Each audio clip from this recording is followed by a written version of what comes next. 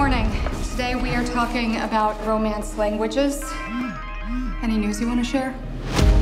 There's still no signs of first contact. The objects measure at least 1,500 feet tall. I'm Colonel G.T. Weber. I have something I need you to translate for me. Is that I was able to process experiences like this. When's the last time you did something stressful? Does now count? I need answers as soon as possible. What do they want? Where are they from? Yeah, that just happened. what happens now? They arrived.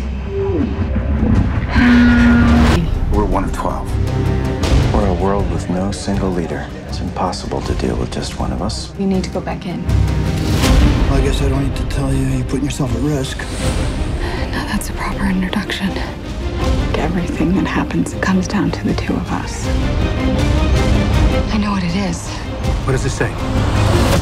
Offer weapon.